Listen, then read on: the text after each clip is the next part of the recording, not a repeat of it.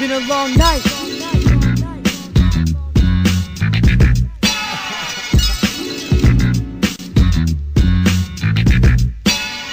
Alright, yo, what up? It's Young One back here with my Battle of the Zae 2 prediction blog. I'm here with my good friend. LaughN'Stalk. Fresno. Eating McDonald's. Thanks for having me, young one. That was a drive. I'm tired, but Yes. I'm ready to talk about people I don't know. We're here live in the studio together. We are. He's sitting right next to me. You can tell.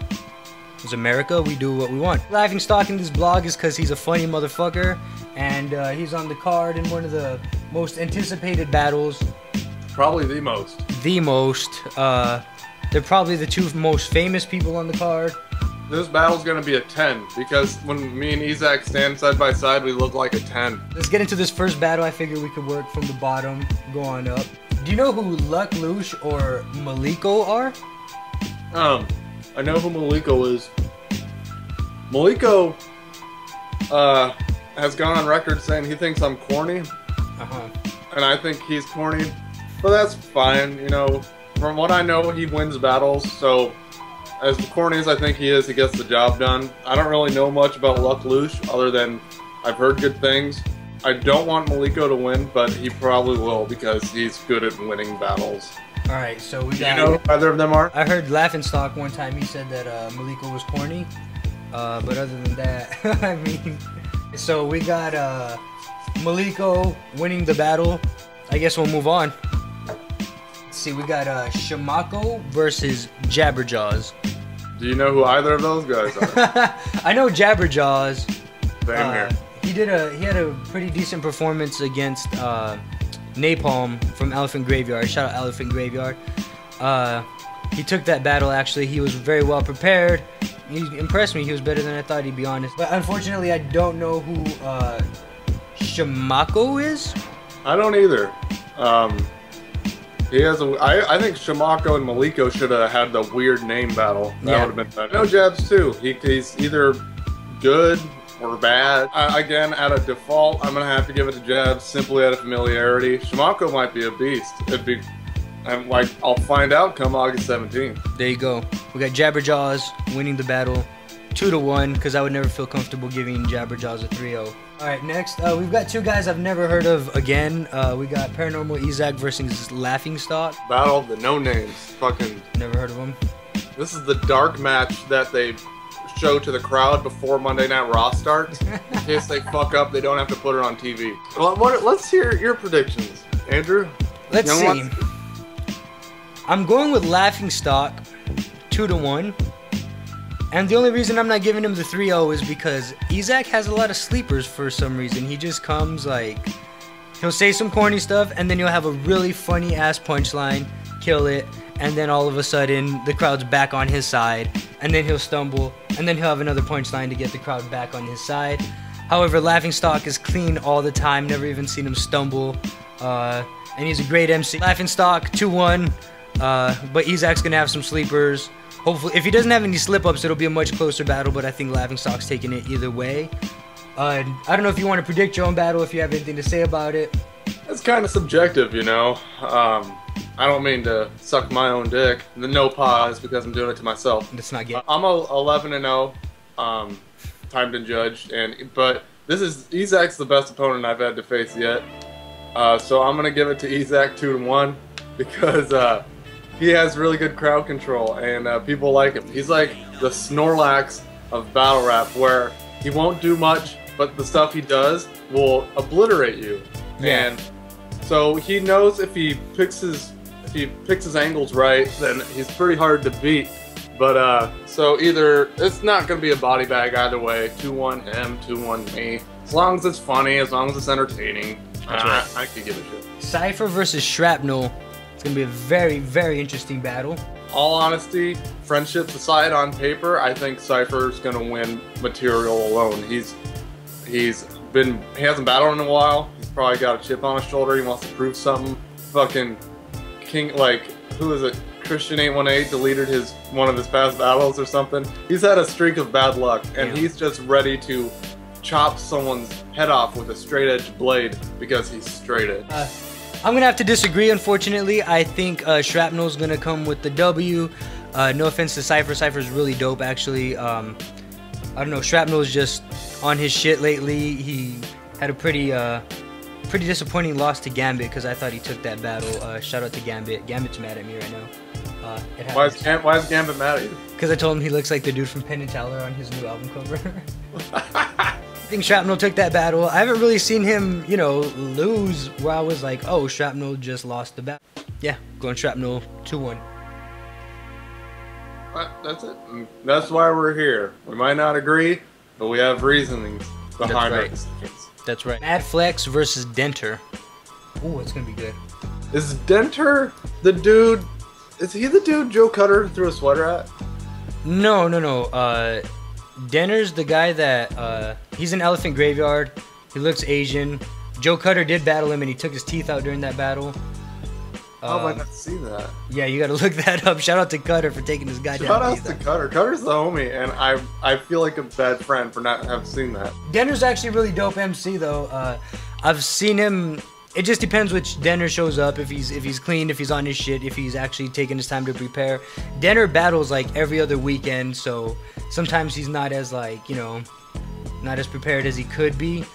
But he's still usually on his shit. Uh, Mad Flex is always fucking dope too. He beat Sinner pretty decisively in a dope ass battle. I know. Do you want to call this one?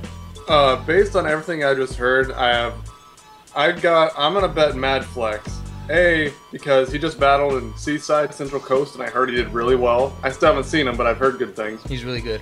You just said he battles every, uh, Denter battles every weekend, which, if you spread yourself too thin, it could be a quantity over quality thing, and you might not body someone as much as you should. Right. And Mad Flex started following me on Twitter today, so by those There reasons, go. I'll give it to Mad Flex. It's gonna be two one either way. Uh, I'm gonna go with Denter ha- having a lot of sleepers that nobody's really gonna get. I think Denter's gonna win online, but Mad Flex is gonna win on pers- in person. If that's fair to say. I don't know if you. That happens, yes. Caddy Ron versus uh, AB Hogish. hmm It's gonna be weird. It's gonna be a weird fucking battle. Uh, the only Ab Hogish battle I've ever seen is him and QP. Apparently, he's been in the game. I don't know if he's a jungle cat or what, but and he's been around a while. And Caddy's Caddy. Caddy has been, I think, really good as of late. Um, Yeah. The last battle of the Zae, and I just think that he's been on a roll. His mind's straight. That fucking hemo rage is circulating through his everything. It's true. So uh, just based on momentum alone, I don't know the last time AB Hogish battled, but I'm gonna give it to Cat Like Ron. Uh, he had a really fucking dope battle against uh, my good fellow Arizonan Rum Nitty. Shout out Rum Nitty for a fucking classic. Uh, Rum Nitty actually took that battle, so Hogish might be, you know, he might have something to prove this time. He's a dope cat. He, I don't know if he has the stage presence, honestly. Like, Caddy, Caddy just can fucking command a crowd. You can just tell he's experienced. He can say anything that's half as dope as Hogish, but it'll sound twice as dope because he's got the crowd control. I battled Yes. Like Ron, and he said I collect baby cum twice. Yeah. and it was greatest shit. I don't know why, but it was. He- Well, it's true. Like I don't know how he found that out about you. Like I- very few people. I didn't know him beforehand, so there's obviously a snitch on deck. I mean, you've shown me your collection of baby cum. It's it's it's impressive. Hogish is gonna have uh, crazy wordplay and gun bars, and Caddy's just gonna poke fun at him for being Asian and black and fucking short. Uh, He's Asian, black, and short. yeah, those are it's a Holy bad shit. combination. So I mean, I don't know. We're going Caddy Ron just off the uh, momentum and stage presence alone, but Hogish is gonna put up a hell of a fight. But I think Caddy's gonna come out the decisive winner in this. Lex D, a, formerly known as Lex Diamond, versus Reverse Live. Ooh. It's gonna be good. That's gonna, I think that's gonna be the battle of the night. Who do you got taking it? You go first. I got Lex. I got Lex taking this one because he's a likable guy. He's got bars and jokes. Like he can fucking. You you got to be careful when you battle somebody that's funny all the time because if you try to match wits and be funny, then they come with bars and you're fucked. If, with uh, Reverse Live, you kind of know what you're gonna get. You're gonna get some jokes and you're gonna get some unbelievable gun bars and you're gonna get some uh, I'm gonna punch you in the face kind of stuff. But like Lex D, he's got the mixed bag where you're just you know you don't know which angle he's gonna take, but it's gonna be funny either way. So I think Lex is gonna take this one. I'm gonna give it to Lex too. Reverse is the homie, and he's the most consistent battler in California. Like he battles all the time for hella leagues, and he always brings three solid rounds, no fuck ups, all good material. This in front of 20 or 200 people, you're gonna get a good reverse live. But going by momentum, just Lex, like Lex is on a roll, man. Even like he, even his loss in the Grand Prix was pretty controversial. A lot Yeah. of people don't think he took that. Uh, but uh, so even in his losses, he still wins in the end. And I just think that he's on such a roll that like the snowball's going downhill. And I, I'm gonna give it to Lex. He's a bit he's refreshing. He's too good to battle me. Ooh. No, no. You know the story Ooh. behind my Lex D disc and my battle. I'm not gonna make this about me, but I I've talked to Lex and I think he's good and he's he's a fan of mine and we're cool. And I hit him up on Facebook saying, "Let's do a mustache battle." It's like the battle of the beards, like Dan and Henry Bowers. You Yeah, know, like I it feel like definitely would be that'd get look. that'd get hipster views if anything. And he never hit me back. so I was writing for my Talks Chemic battle, and I was trying to think of something, and one of my buddies said, "Hey, did Lex D ever hit you back about the mustache battle?" And I went, "No, no, he didn't." And so I just I wrote, "Oh yeah, like fuck Lex Diamond." And I threw that into my battle. So I'd, I'd have no beef with the guy. I'm a fan of his. Shots but fired. people have asked about that, and that's why I said it. Next battle is Fredo versus Joe Cutter. What do you think? Oh, Joe Cutter is one of those. There's an old saying: a good comedian says funny things. A great comedian says things funny. Joe Cutter can take something that's lame with someone else and make it dope. Yeah. I seriously hold, heard him tell some dude, "You drive around in your dad's LeBaron," and it was like, for whatever reason, it was fucking great. So Cutter has delivery on his side. I, I think a bit more than Fredo, although Fredo's aggressive and good, and he's not bad at all. But Cutter and EK is just one of the best battles in the last several months. And I mean, Fredo and Pariah were good too. That's but true. uh, Shout out I to Pariah. think- yeah, you would you hug Pariah? I, you know what? Per, after I saw Pariah push Val Kilmer, I just I don't see a, a, a mean person. I just see a guy who needs a hug. To be honest. The type of dude that if you hugged him in front of his buddies, he'd get pissed and shove you, but then afterwards walk up to you and go, "Thank you." Pariah, I'm here for you, dog. If you I'm need a down- hug. I'll tell you to your fucking face I'm scared of you, Pariah. I'm giving it to Cutter, edging it, not a body bag. They, they have the two on twos they're working on, so it's probably a lot of personal. They've been around each other a lot, Yeah. but um, I'm just gonna give it to Cutter. Uh, I'm gonna give it to Cutter as well, just because I feel like with Cutter, you never know what he's gonna talk about, what he's gonna say. He's always gonna he's always gonna have some race jokes and fucking Fredo's uh, Asian of some sort. I think. I don't know which one, which type. Who knows? Joe Cutter can make Fredo Chinese for three rounds. He, he did it to Denter. I've got uh, Cutter going, uh, winning this battle just off unpredictability. I agree. Remy D versus the Dead Man. Ooh.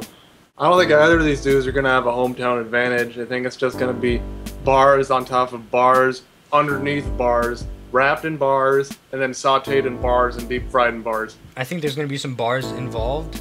That's what I'm getting at. Uh, there's gonna be a lot of stuff that they should be slowing down that they're not going to. Uh, that so we're gonna have to watch the battle like nine times just so you can catch half of the wordplay that's gonna be going on in this. It's one of those battles that when you open it on your browser, you have to open up Google as well. Who do you got? Uh, I got. Oof. Damn. I said Dead Man before. Or no, I said Remy before, but now I'm leaning towards Dead Man. And again, both these dudes are just, you know, standing at the doorstep of headlining. And so it's just a matter of time before they're both solidified top tier dudes. It's Yeah.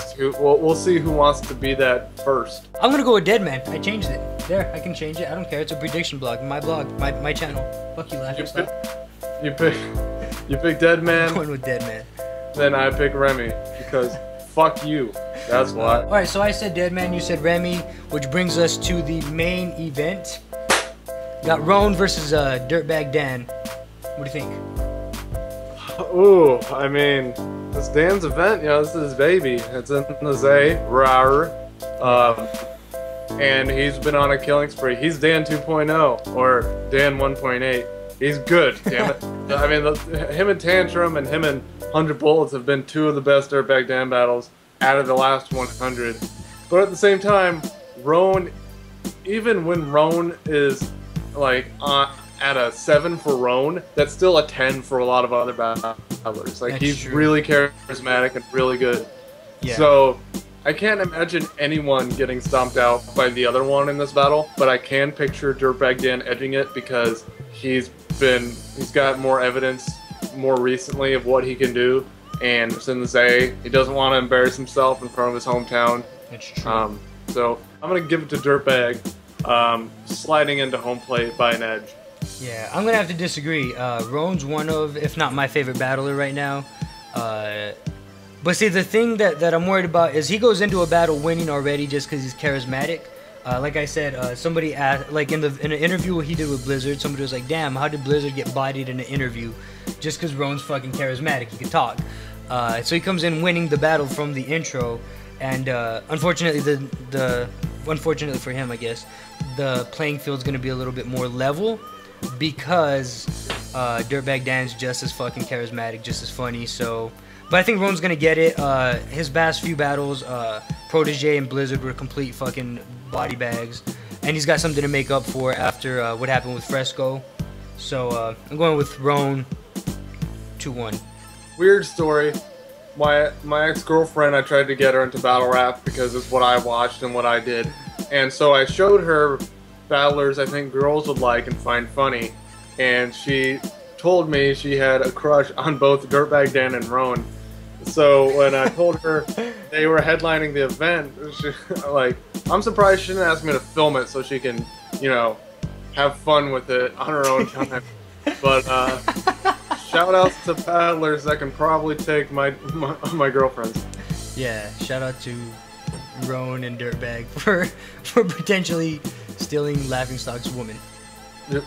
Don't Real do talk. So, uh, all right, so that's pretty much the card. We'll do a quick little rundown uh, of who we picked.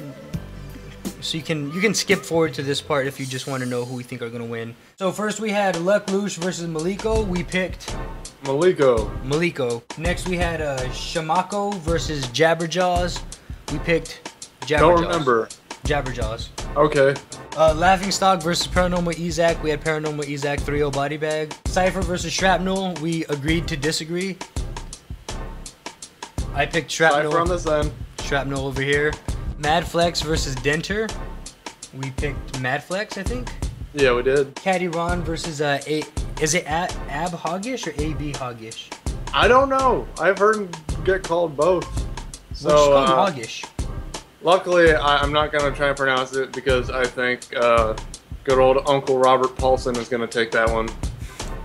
I agree. Reverse Live versus Lex D. We both agreed on See, Reverse Live. Lex Cubic Lex. Zirconia. I'm Lex Cubic Zirconia. Uh, Lex Diamond. Shout out Lex. Check out his uh, ins- installment of the Go with the Flow session. He fucking kills it. Fredo versus Joe Cutter. We picked Joe Cutter. Cutter S. Cutter S. Thompson. Remy D versus Deadman. Uh, we agreed to disagree on. I picked Deadman. He picked Remy D. Dirtbag Dan versus Rone. Another uh, disagreement. I picked Dirtbag. I picked Rone. Shout outs to everyone involved in the card. It's nothing but dope matchups. Every battle will hopefully deliver. Um, I mean, it's so, so many good battlers, you can't help but have good content. Right. Uh, when is the date again? It's Saturday, August 17th at the Canary. I'm not sure where that is. I think it's in Japantown of San Jose, California. I think that's pretty much it. You got anything else to say to uh, Paranormal Ezac or anybody on the card? Um, yeah, Thank you for tuning into our blog. I hope you watched the whole thing. It's quite long, but it's quite hilarious. Uh, shout out to LaughN'Stalk for joining me. Uh, he took a three-hour drive from Fresno all the way down to uh, my humble home. Thank you for having me. I, I, I admire it's worth the drive. I encourage everyone to visit Young One Studios. You heard that. You heard it here first. Uh, live from Jordan River Recordings, we got Young One, LaughN'Stalk, signing out.